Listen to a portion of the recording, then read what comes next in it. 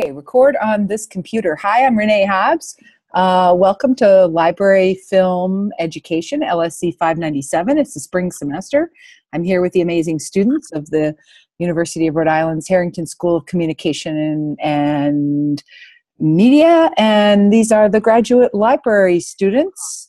Uh, and we have uh, a good team tonight here. I see Kim, I see Megan, Bill, Pam, Robin, and uh, if you're not uh, watching us, uh, if you're not participating live, hopefully uh, Britt, Jordana, the other Emily, hopefully you're watching the recording. So really, really glad about that. Um, okay, so uh, we have a big, big agenda, but obviously the first thing on the agenda is uh, the the the issue that some of you have raised for me about the challenges of doing an experiential learning uh, thing like what we're doing. Uh, for some of you, this is an absolute delight. It's really clear. And for some of you, the experiential learning component is an absolute nightmare. And so I want to be sensitive to that. And uh, for for reasons that have to do with your life, your schedule, or whatever, um, if you need to um, if you need to find an alternative way to manage through this program i am you know more than happy to support that so um, if doing an experiential library program with a partner is it's just not working out. I can see from the base camp that some teams are really on fire, other teams are moving forward, and some teams haven't seemed to make any progress at all. So, if you um, feel like doing an experiential learning program is impossible for your life right now, then I'd like you to propose an alternative project. You can do that by first looking at the list of learning outcomes that are presented on the syllabus and think about what could you do that would help you advance those competencies, the same learning outcomes for the course, since that's an important equity issue. And then I invite you to think about the client, the Providence Children's Film Festival, and think about their many, many needs and maybe even have a conversation with Anissa Rauf, who's made herself super available to us, right? I mean, in so many ways. She's she's on the base camp posting and commenting, right?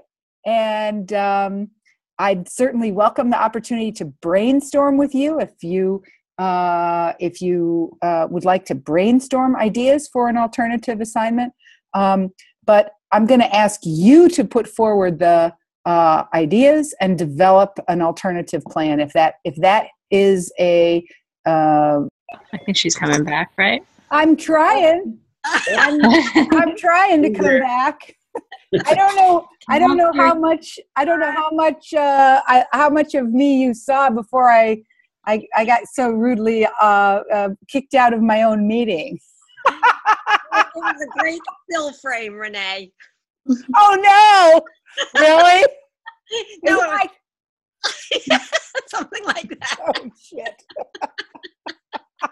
My condolences. I'm so sorry you had to see me in in grimace, right? Ah, not so nice. So, where did you lose me? What have I? What what do I need to say anymore, or did you? What what part of the me- message did you get? Anyone want to summarize what I what you think you heard me say? But you're just on saying how we would all get A's in this class. Doing whatever we wanted to. Wasn't that it, No, you said that we could uh, propose an alternative uh, based on the um, outcomes of the class, the, mm-hmm. uh, and that we had to come up with it and present it to you. Very nice. And i and i also said that you can consult with anissa rauf our client and me if you want to brainstorm a proposal but i would certainly need to see that proposal for an alternative assignment in hand before hopefully before we leave for spring break that would be ideal. And if not, then immediately after spring break, I think we could manage that. Uh, do you guys have any questions about that? Because I certainly don't want to have this be a, uh, you know, a, a adversarial and nightmarish or other kind of craziness. Do you have any questions about that?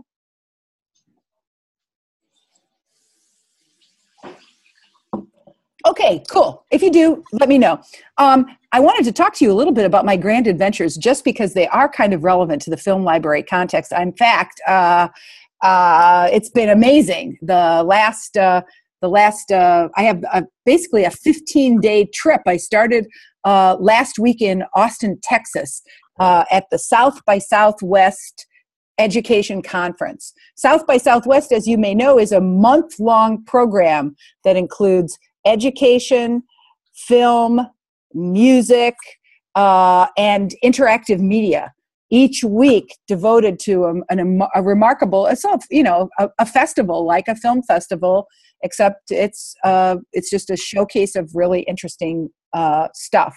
And I was there uh, on a panel uh, talking a little bit about virtual reality in education um, because I had the amazing experience last summer of being able to go to Israel, work with a group of educational technologists, and make a virtual reality app.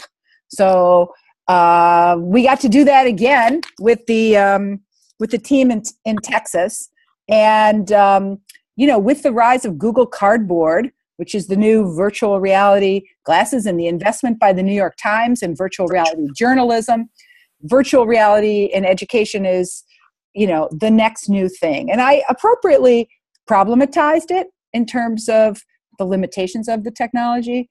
Um, but i also talked a little bit about how virtual reality is um, something john dewey would be really cool on can i right? just say can i just say my fiance will not put the google cardboard thing down he likes it, huh?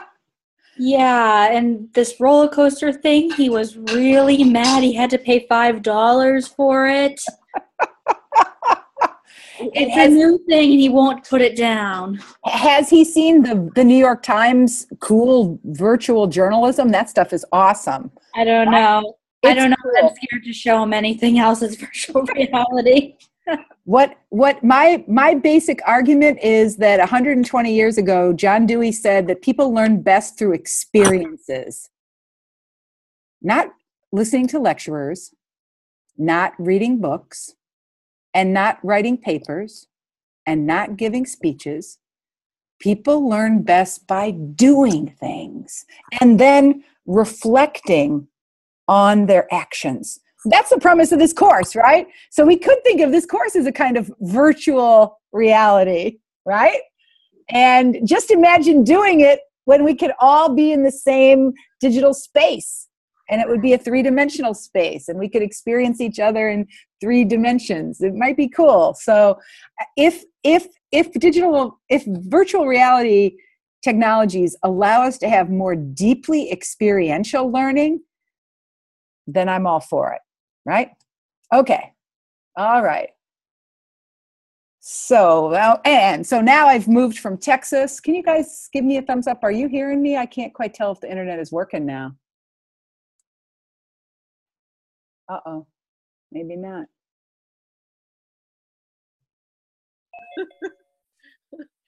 What do you, do you think this is still recording? It is. It's oh, still totally. recording. Oh. It's going to be weird, huh? Yeah. So don't say anything bad about me because I'll be able to watch the recording, you guys. I'll see what no, I was missing. Too late.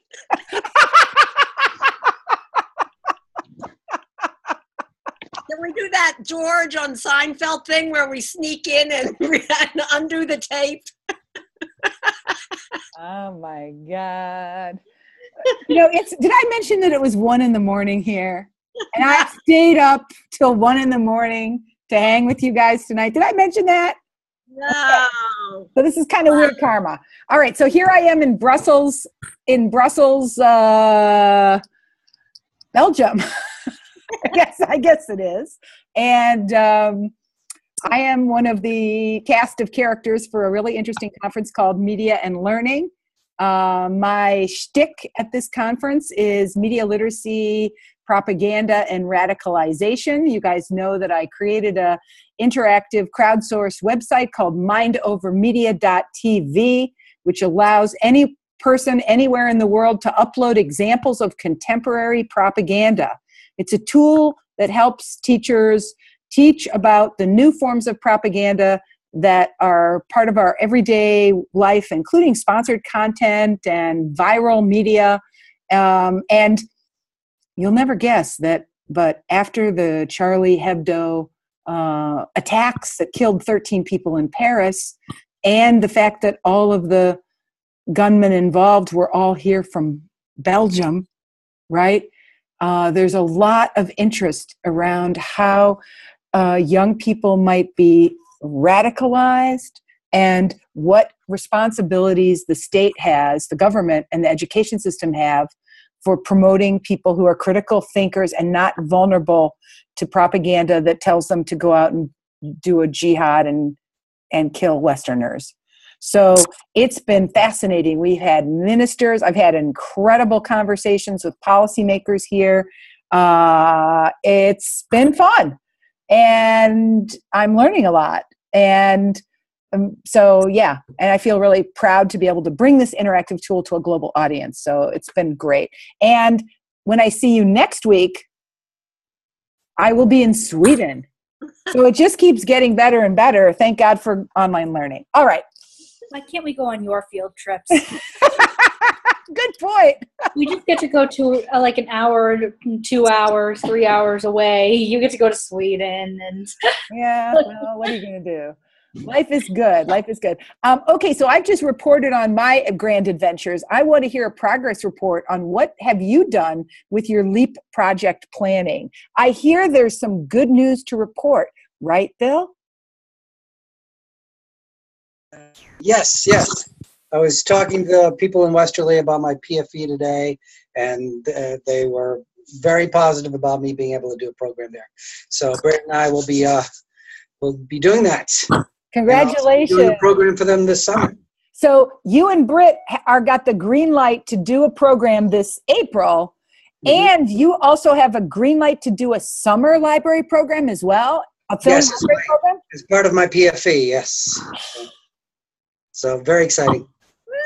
Congratulations. That is thrilling. Uh. Pam, you've made some progress as well. Can you tell us about uh, what you what what's going on in your life? Why don't I hand it over to Megan, my partner? Megan, you want to report on what we've done? Is she there? I'm trying to unmute. Okay. Hi. Okay. Um, well, we actually were able to meet up yesterday, which was wonderful. Pam came down to campus to visit me. Um, we have set up with Fox Point Library in Providence to do Let's Get Rhythm as an after school program, which is super exciting. Um, and we're just kind of working out the logistics at this point. That is fantastic. Fox Point is a fabulous choice. Now, talk to me about Let's Get Rhythm. Why did you choose it and what is it? Pam, you want to take that? You know a little bit more about it than I do at this point. I actually saw it um, uh, at the Wanskuck Library where they also did a uh, workshop during the uh, Providence Children's Film Festival it's a um, film all about the significance and uh, global reach of girls' hand clapping games. Oh my God! How cool! You mean really, like, like yeah, my mother told me? That's what you mean by hand clapping games? Uh oh! Oh boy! Oh boy!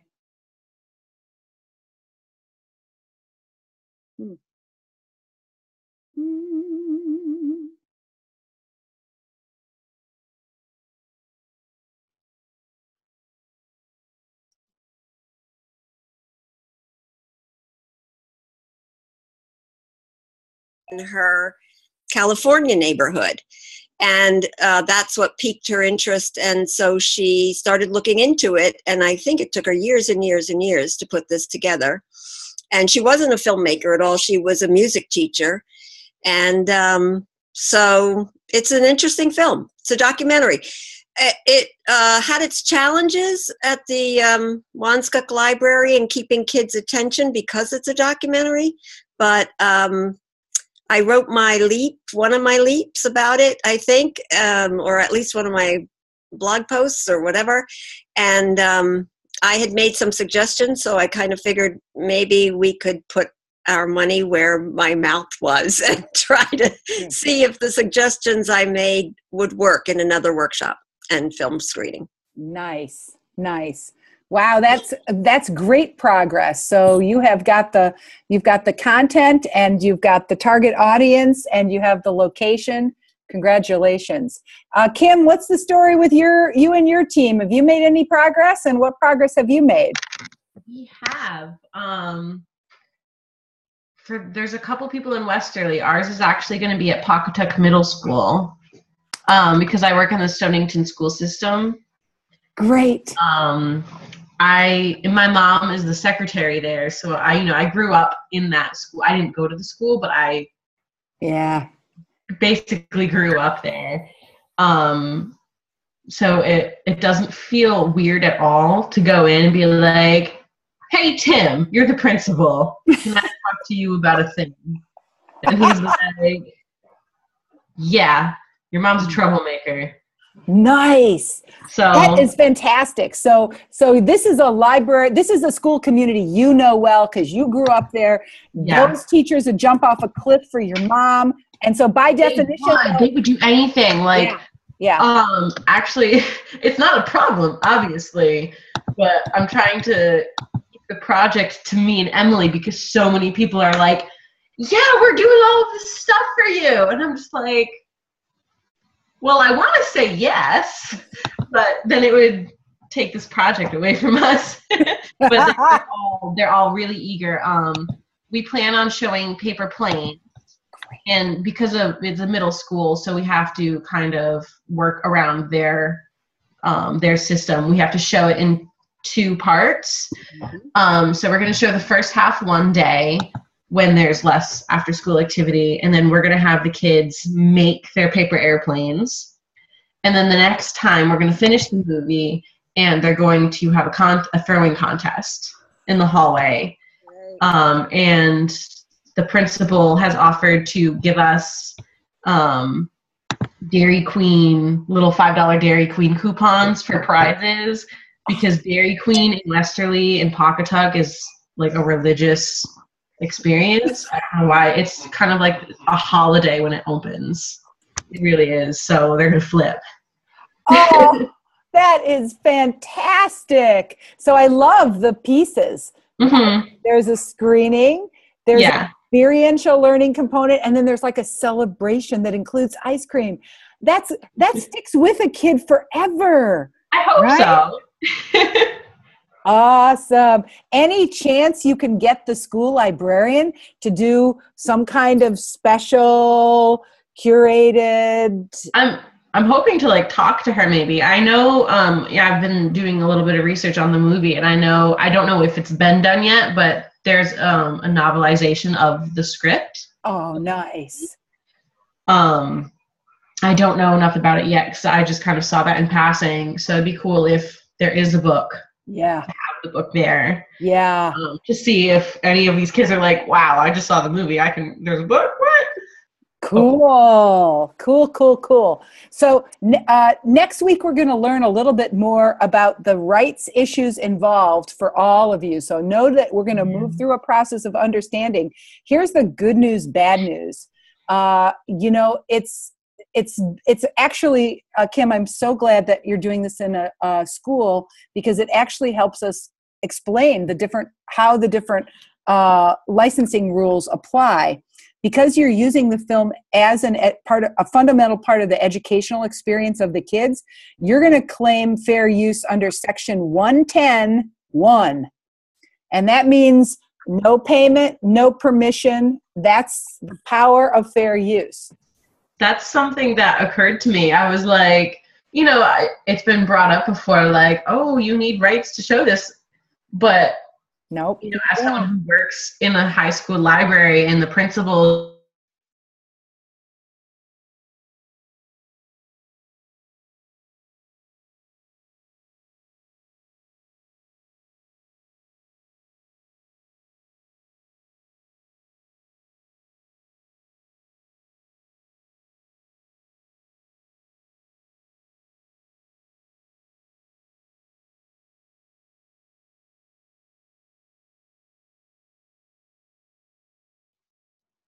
they're not. No. Maybe you can Uh, maybe you can donate it to the local library then make a yeah, maybe. and tell the kids that and then see if Yeah. it out. Great film. Did you see it? I haven't. It's been I recorded it on my DVR and then it got kicked off my DVR because it's been on our movie channels. Yeah. Um, So much to talk about with I- it. I think Zoom made me the host of the meeting. Yes. Oh, how wonderful. I'm so glad that's that somebody is the host of the meeting. So that's kind of good to know that when I when I uh, whoever you were cuz you were talking when it, I cut out. So thank you for being the host of the meeting. I have the power. Woo, it's exciting. Am I the teacher now? Can I grade all these assignments? You as we said before, everybody's getting an A, right? Who happening tonight? All right. Well, in honor of making such great progress uh, as your as these teams have, I feel really happy about um, the momentum that you have got. Uh, I want to re I want to reiterate this idea that um, by your using Basecamp for your program development and your collaborative process, there's two or three great things. One is you're discovering the power of a collaborative digital tool like a project management software like Ba- Basecamp. The other thing is that your planning process is transparent so that we're when it's all said and done we're able to review the choices you made and the strategies you used and think about the relationship between your planning process and your execution right? And for library programming there's nothing better than being able to connect the the choices you make in the planning process to the execution.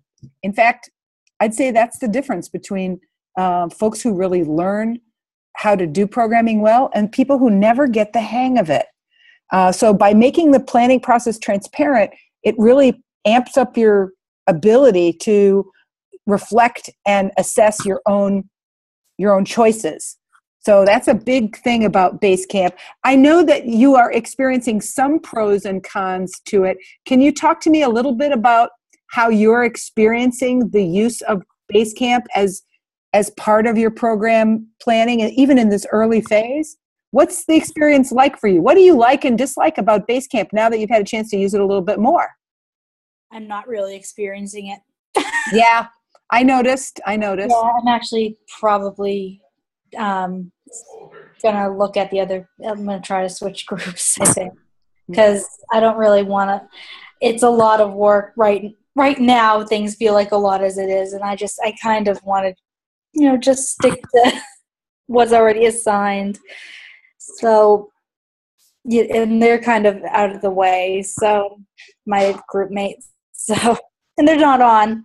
So, Robin, one, one possibility is uh, th- some members of these t- teams here tonight might adopt you, right?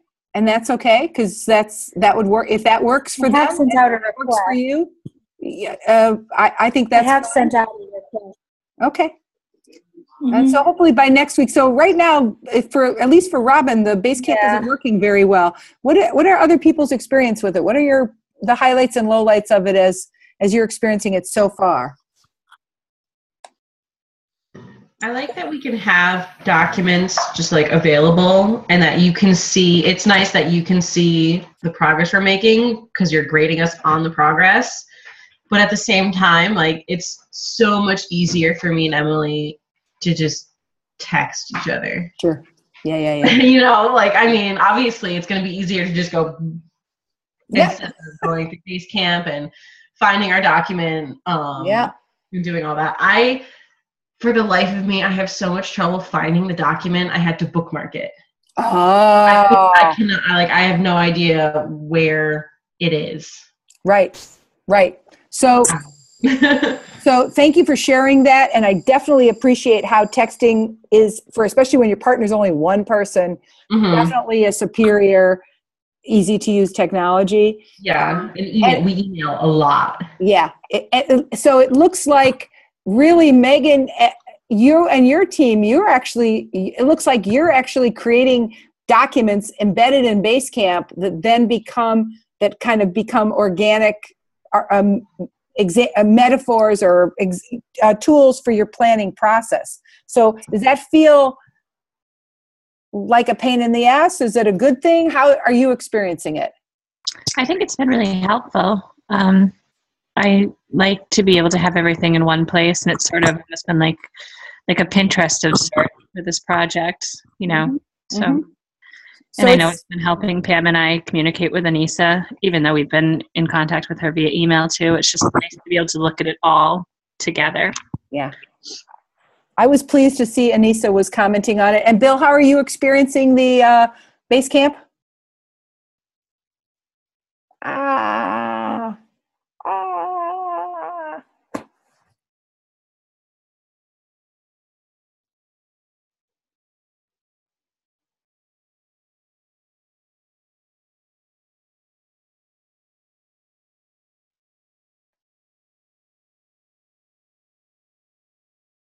Yes, he'll sit next to me doing whatever he's doing on his iPad, and then you'll occasionally see him just kind of look over the side of the computer. and then as soon as he sees himself on the screen, he'll get scared and he'll just dash away.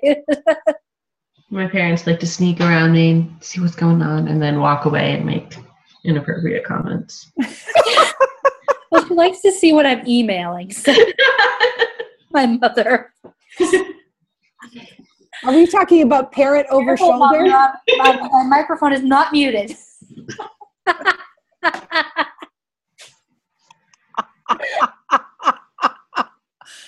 I like it how the family members make appearances in our class occasionally. That's charming. So wonderful. So wonderful.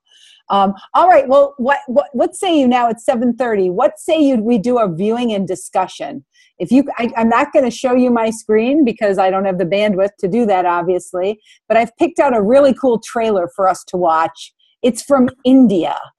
So uh, see if you can navigate yourself to our homepage for tonight and it takes about three minutes to watch the trailer.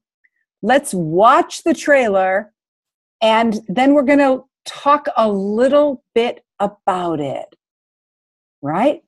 You know, the focus questions we're going to ask tonight are Is this a movie you might be interested in seeing? Why or why not? The second question I'm going to ask you to think about is This movie makes grand and glorious use of stereotypes what stereotypes do you notice and what do they mean to you? And the third question that I'm going to ask you is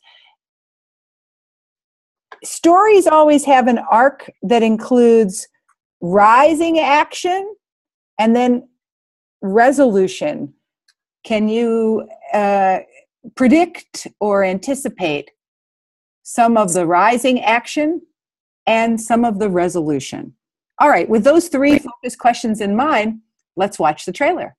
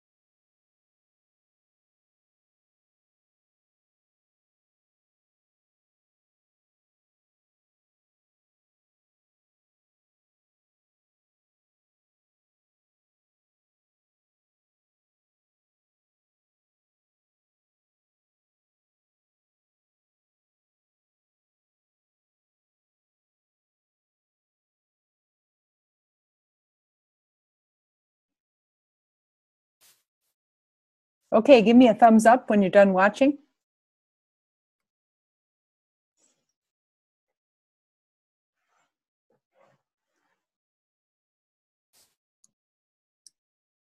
Okay, so why don't we start with the first question? Is this um is this the kind of movie you choose to see? Why or why not? Who wants to go first? I'd say Um, I would see it. It looks fun. Um, yeah, it looks it looks fun and interesting, but just- it, it's such a choppy trailer, and it's like they just took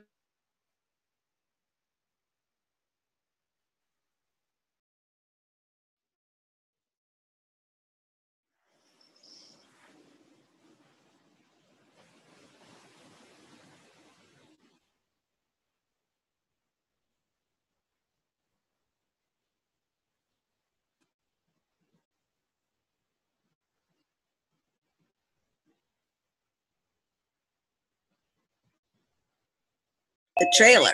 Mhm. That is interesting. I couldn't tell whether um, the kids in the beginning were adults in the end, and I'm not sure how that fits in the seven days, but it intrigues me enough to want to find out. Mhm. And why were the subtitles when they were speaking in English? I don't.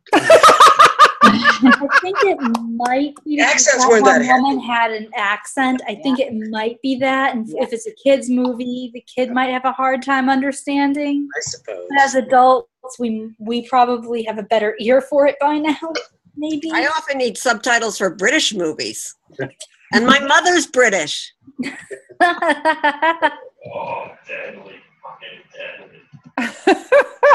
so uh, so so we get some different reactions and we're noticing that this uh, this particular trailer doesn't use a typical narrative arc at all.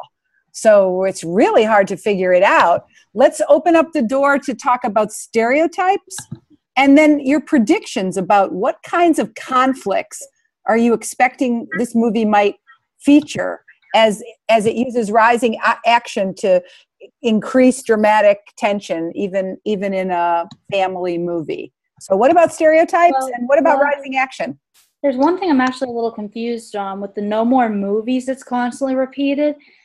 I don't see them actually watching any movies at all in the thing. So are they talking about because I see a lot of like the the like dancing around, the fooling around. Are they talking about making movies or are they talking ab- about actually seeing them? Because that's what I noticed. That's like a that was what I was kind of hung up on in the preview. great great point that ambiguity is really not uh, clearly established so your prediction is maybe it's about making movies maybe it's about watching movies it's not really clear thanks for thanks for pointing that out what else Uh, def- would a stereotype be like the disapproving adult? Yeah. or or overprotective parent. yeah disapproving Yeah. adults and overprotective parents that's a good guy stereotype who has to be be really smart at school because you see him a lot with the backpack and them saying no more movies and then you see him running with the backpack a lot so Yep, yep. The the overachiever has to be perfect and get an A boy. Any other stereotypes that you recognized? There was a dance scene towards the end. This And- is one girl. Girl Uh, yeah, I don't know how many of you have seen Indian films. i have Lots of more dancing. dance there has to be at least a big dance number at the very end scenes. Dance. Almost a requirement. Okay. Good. and what kind of conflicts are you, if you had to predict, what kind of conflicts are you going to see in this film? If you had to predict, Parent child. Oh Yeah. yeah. what else? Cult- I thought there was going to be some cultural conflicts. What do you mean by cultural conflict? I don't know. I just felt like the um like costuming and such. Yeah. It seemed very alarming how much skin there was being shown. Yeah, Old India, New India. good. Yeah. We saw we saw Indian women in traditional clothing. We saw Indian women in modern clothing. Maybe Yeah, I a did cultural that. class. With Class. the hijabs. I didn't notice that. Hijabs. If you get it from pronouncing it right. Good. So it, it is quite interesting to think about how much we got in that two minutes of really badly produced trailer, mm-hmm. right? We got a lot. And we got an interesting conversation that activated a lot of our background knowledge, right? So thank you so much for sharing that. Now I want to turn to something that I think was I've never done before, and I am dying to hear about what you thought of it. I've been kind of, as you tweet about them, I've been reading and enjoying them. What was it like to compose a listicle as a form of synthesis? What did you like about the process? What did you hate about the process? What did you notice about making a listicle?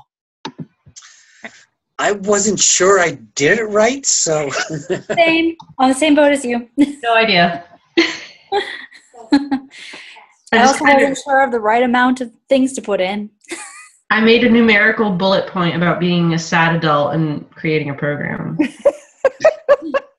Basically. There's a picture of a man looking sad and holding a teddy bear. It's all very it's very touching. So, But- you, so it sounds like you had fun with this. Yeah. Okay. Well, well, about those short readings we had to read. Oh, don't get with the 44 pager.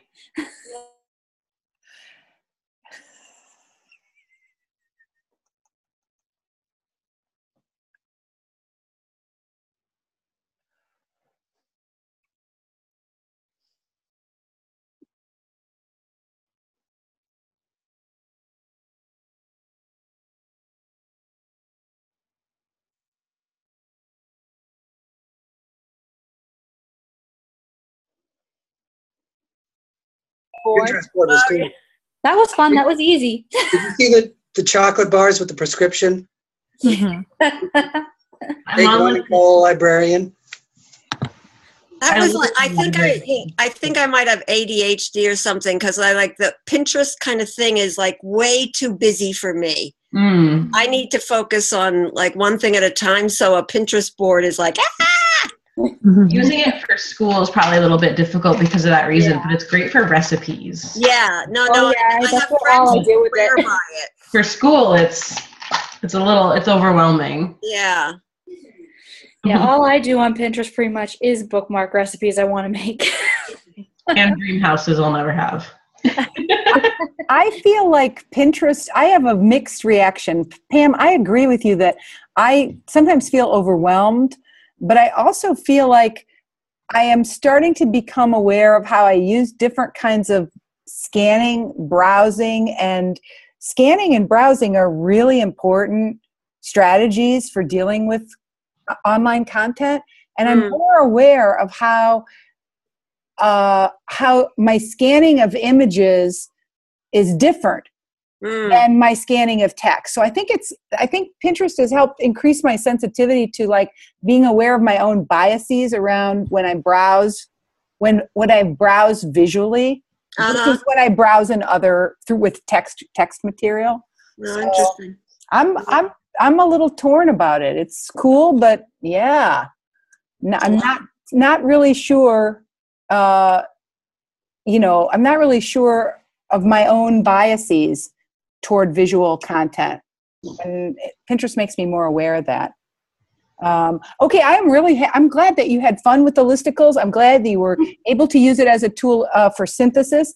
So let me talk a little bit about uh, the even more fun we're going to have this week, right? So this week, because I was really aware that you know the reading is like, and yet, man, such cool stuff. So here's what we're going to do for uh, for this week. Uh, next, the topic, all the all the essays next week are in one way or the other about making media in libraries and making media. So we've been spending the whole semester really talking about ourselves our, ourselves and young audiences as consumers or viewers or analysts of film. Next week, we're talking about young people as makers of film. So, first, what I'd like to do is talk to you about the readings that you're going to do. And then I'd, like to talk to you about the idea that you're going to be tweeting about the readings. Um, so, the first thing that we're looking at is the short, short piece in the Huffington Post called Vancouver's Public Library's Inspiration Lab Just Made Learning Cool. And this is really about the trend in libraries to include a maker space or a media production space in the library. I want everybody to read that article. But then the next pieces I've kind of assigned you uh, for reasons of reasons that might or might not be obvious. Um, so I'd like Bill, Kim, and Robin to read the British Film Institute piece called Using Film in Schools, a practical guide. I'd like Emily Z and Britta to read the um, article called Participatory Culture at the Echo Park Film Center, which is about a nonprofit media arts organization and their use of media production activities. I'd like Jordana and Megan, I'd like you guys to read the piece called Congregating to Create for Social Change Urban Youth Media Production and Sense of Community, right? And Pam and Emily V, I've, I've given you the heavy lifting for the Mimi Ito piece. And really, it's a summary. So read the summary. It's it's uh, a place where you can do some strategic browsing, right? As that piece is is a is a heavy lift, and it's really the first mm, 25 or so, 20, 25 or 30 pages that are going to be most useful, giving you the sense of that piece. Um, but here's what I want you to do. We're going to have a tweet chat about the readings this week. So we're going to use Twitter to share information and insights on what we're reading after reading the article you've been assigned, I want you to compose nine, count them, nine tweets. You'll be summarizing, sharing an opinion, and asking a question in response to what you've learned. Now, remember that a well formed tweet uses concision to strategically convey an idea and promote dialogue with your community. Include the film library, uh, the library film ed hashtag, and the author's name on every tweet. You may choose to curate additional content that extends or connects to key ideas from the reading. This is good librarianship, right? As you come across an idea that intrigues you, go poke around and find other stuff on that. 140 characters. Oh, that's yeah. why I'm glad I there's so many. Ito as my author. Who's our author? Let's see. I get the short one. Oh, I have the British Film Institute. That sucks. Oh, come on. BFI. BFI. That's half the tweet. BFI. well, then it'll be really easy for us to have nine tweets. That's it. But remember, you have to have 10. There's what you have to have 10. Just just noticing. So finish that line, right? So you have to reply to somebody else's tweet. So don't forget okay. about that last one. Okay. And that's the minimum. So there is no maximum. All right, what oh. questions you guys have about that? Fun, right? Should be fun. Yeah, yeah, yeah. So let's just talk a little bit about the best way this will work. In the context of Twitter, Twitter's like a river. Okay? The Twitter river is running day and night. And you can put your toe into it and take a look at it now and uh, and an hour from now it's going to be completely different and Tomorrow it'll be completely different. And when you follow the hashtag library film ed, it's kind of nice to follow it over time. So, what I'm going to be doing is I'm going to be checking in on the library film ed hashtag every day. And I'm going to be commenting on your comments because I picked these readings for a reason. I have some opinions about it, right? So, I'm going to be talking to you all week long in little bits in 10 minutes at a time 10 minutes here 10 minutes there that's how it's going to work so it will be better for our conversation if you don't dump this all in one you know in one you know one hot mess it, that's it it actually probably will be better if you uh, you know do the ones that are summarizing and then do the opinions, right? And then do the replies eh, over time because that's what Twitter, that's a kind of like a bias of Twitter. Uh, and then that means our conversation are going to intersect because these, these readings actually kind of talk to each other. The ideas in the BFI piece are going to be in conflict a little bit with some of the Ito pieces, and the stuff about the social justice stuff in the urban school is going to be completely different than Echo Park in and the some of the challenges in that in that context. So in a way, we we're going to play with how these arguments relate to each other on the Twitter, right? And so that means that we're you got to think about like it's almost like we're being in another kind of conversation. It's asynchronous because we're not going to be in the same time like we are now, but it might work. It might work. So let's give it a try, huh? All right, do you guys have any questions about that? Okay. All right. I have one quick question. Yeah. Uh, my author is the British Film Institute, I think. Yes. Yes. Uh, I think Pam might have suggested BFI. Is that okay for? Absolutely. That's how they call themselves. And and feel free to also uh, reference them. BFI is very active on the Twitter stream, right? So find their Twitter handle and you know let them in to the conversation. I would I would like you to realize that when a tweet is a public thing, we're even though you only have 20 followers or 40 followers, when I retweet you, you have 5,000 people reading that tweet. And I will be retweeting you. So realize you're making kind of a public argument in a public space.